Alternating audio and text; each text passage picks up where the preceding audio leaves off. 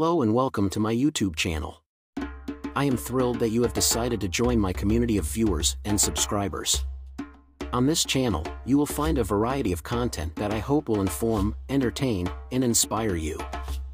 From educational videos to entertaining vlogs, there's something for everyone here. By subscribing to my channel, you'll be the first to know when I upload new content. You'll also have access to exclusive content and behind-the-scenes footage that I don't share anywhere else. So hit that subscribe button and join our community.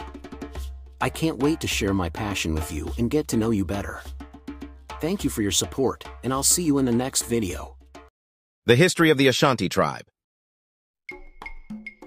The Ashanti people, also known as the Asante, are an ethnic group from the Ashanti region of Ghana. Their history dates back to the 17th century, and they are known for their rich cultural heritage and history of resistance against colonialism.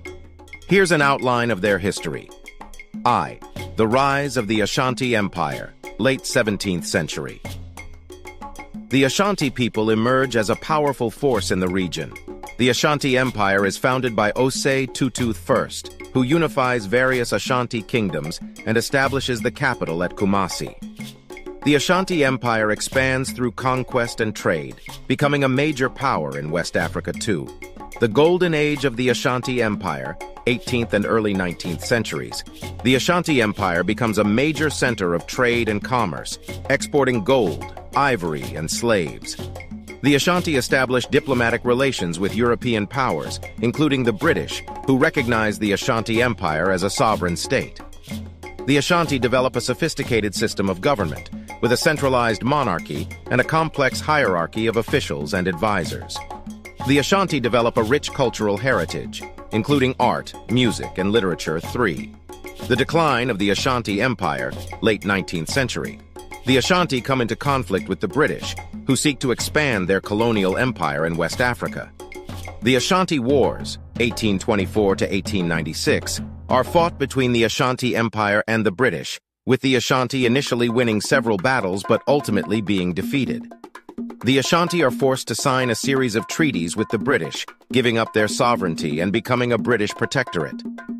The Ashanti culture and traditions are suppressed by the British, leading to a decline in the Ashanti identity and way of life. 4. The resurgence of the Ashanti people, 20th century.